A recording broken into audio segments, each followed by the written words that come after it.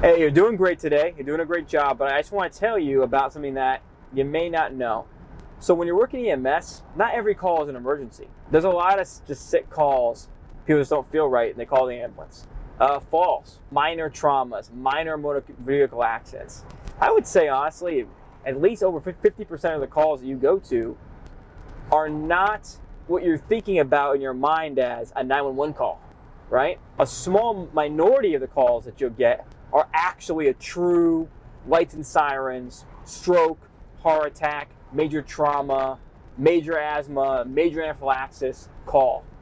A lot of the calls, you're just there helping somebody with an ailment that they might be having, but to them, it's an emergency to them. And that's okay. That's why we're here. But just know that not every call is going to be a lights and sirens or in a movie emergency. So I just wanted you to know that. Follow my page here. I go over all of it.